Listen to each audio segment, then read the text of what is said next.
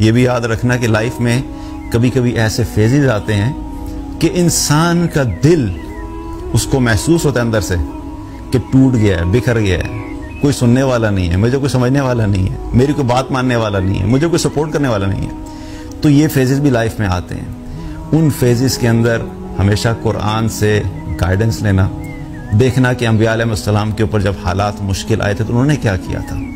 वो सबसे बेहतरीन गाइडेंस है हमारे लिए। आपको लोग अपनी तरफ़ खींचेंगे तरह तरह के मशवरे देंगे। नहीं तुम्हें ये करना चाहिए, फलां बुक पढ़नी चाहिए, फलां बंदे को देखो। हमेशा अपनी स्ट्रेंथ कुरान से गेन करना।